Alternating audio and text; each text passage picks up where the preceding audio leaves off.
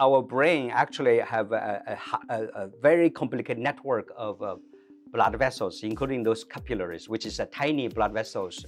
And the interesting thing about this uh, is the total length of those uh, capillaries in the human brain is actually um, approximately 400 miles, which is very, very, very long. And these together forming this complex network that allow the brain to exchange uh, between the nutrient and also oxygen and uh, carbon dioxide between circulation and the brain uh, neuron cells. So this study basically focusing on those uh, layers that forming these uh, uh, capillaries is called endotheliums.